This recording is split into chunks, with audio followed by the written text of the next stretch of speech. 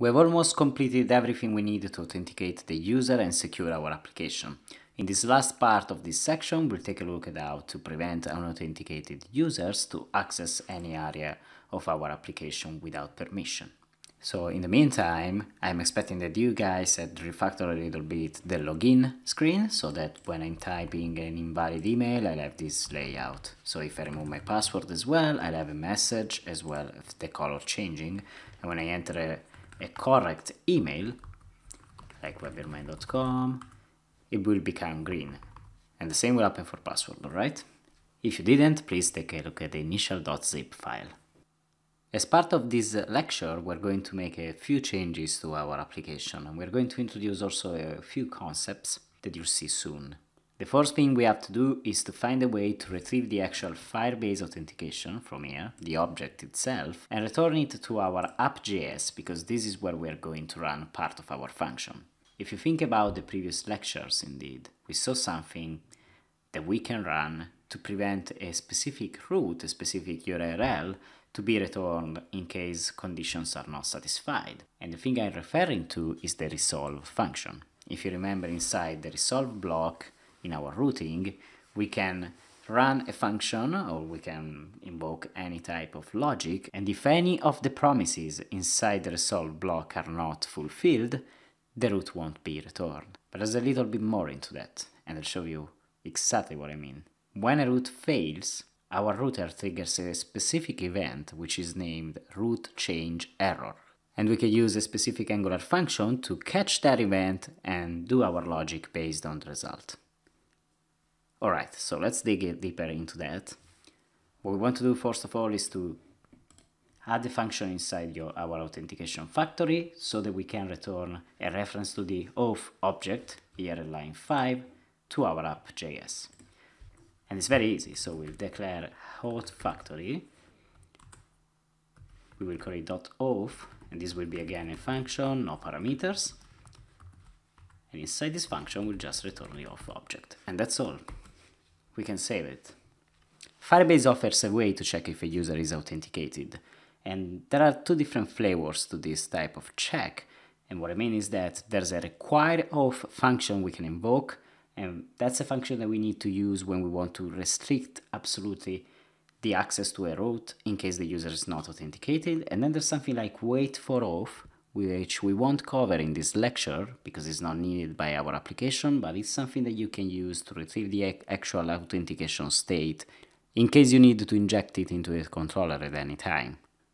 The first change we can do inside our application.js is to reintroduce the home routing that we removed at the start of this section, if you remember, because we replaced that with the login page. But now we want that the authenticated user will see the home page, while non-authenticated will see the login page. So just copy the, the format for the routing and copy that down here. And this will be again when slash home slash home HTML. Bear with me, I'll show you what happens now. We don't need a controller. We can change the login route to be slash login. And we can write our resolve block for this specific route. Inside the resolve block, we want to declare our current auth and if you remember, this is where we'll store whatever gets returned by the function we invoked, by the promise when it's fulfilled. So in our current auth, we want to inject our auth factory as a dependency because we need it. We need a function that is in there. And then function, and inside the function again auth factory, and we'll open our curly brackets. Then we want to declare an auth variable, and we will retrieve from the auth factory, from the new function we just written, the actual auth reference. So we'll store the Firebase auth object inside there. And if we want to see what's inside there, we can log it, console.log auth. And then we want to return auth dot dollar require auth. And this is a function. Let's take a look at what I just did. I'm invoking in the auth factory my auth function that will return a reference to the object which is the Firebase auth reference, alright? And then at the line 30 we are invoking the require auth function in our Firebase auth, and the function returns a promise that is resolved if the user is currently authenticated and is rejected if the user is not authenticated, which is exactly what we need. So in case the user is not authenticated, it will never be able to access the home HTML screen, alright? So we can simply take this resolve function and copy it in every route that we want to restrict based on the user authentication. So I copy that wall block and I'll add it in each one of my routes. So it will be here in the add event, we want to restrict it, and also in the event list. We already have a resolve function here, so we can just type comma and copy just this bit, including the square brackets at the end. Okay, so we have a way to check if the user is authenticated. We don't have a way to decide what happens if the user is not. The important thing we have to notice is that we need to do all of these checks on the status of the authentication while the Angular application is still bootstrapping. And if you remember, in our config block, which is part of the Angular bootstrap, we have defined our routes. There's another block that we can use, and this block is called dot .run. So let's start typing dot .run here, and I'll tell you a little bit what the dot .run does. The dot .run is the closest thing you have in AngularJS to a main method, and run blocks are executed after the injector is created and are used to kickstart the AngularJS application.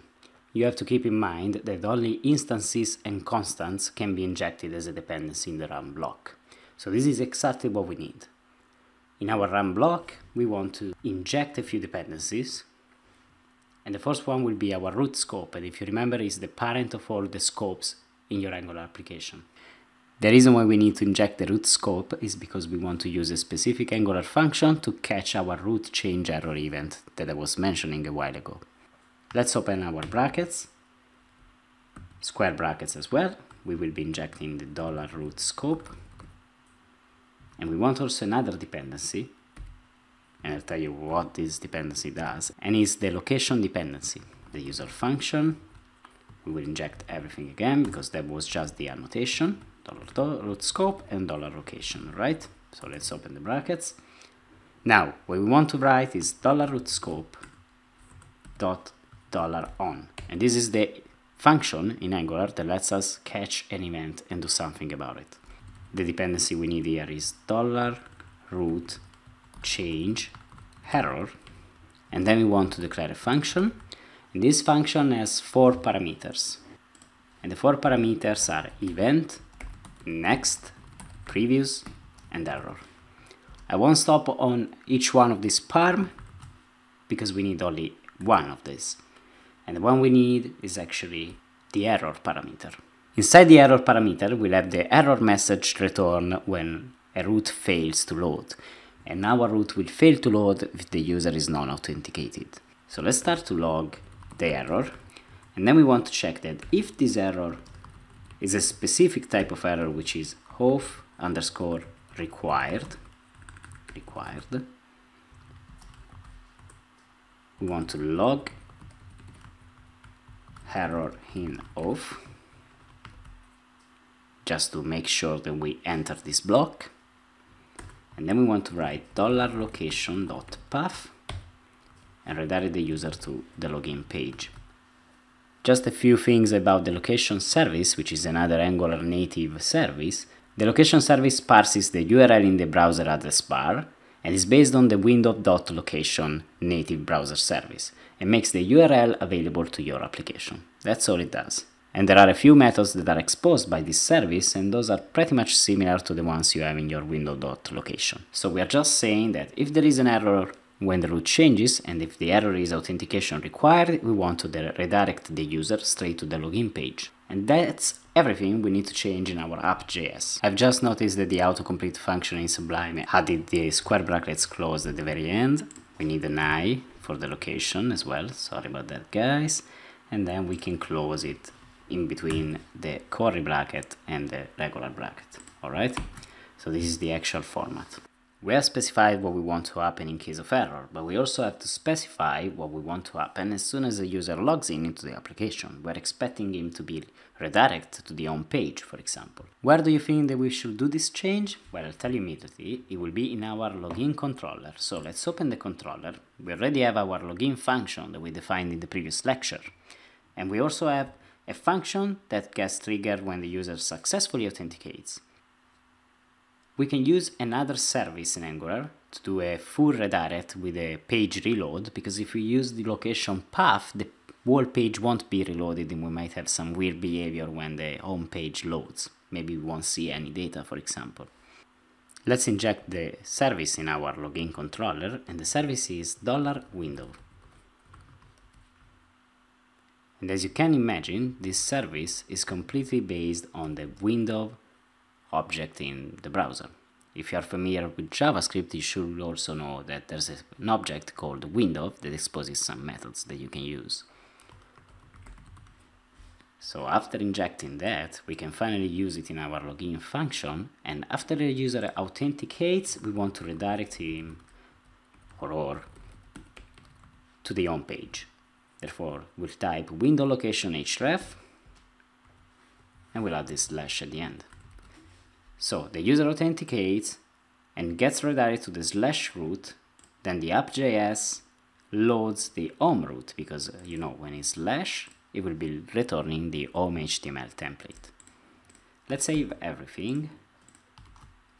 And there's one last thing we want to do before testing our code change and we need a logout function. And you'll be happy knowing that Firebase is also a way to log out users. Let's write immediately a function in our auth factory to log out our users. That will be auth factory dot logout equals function.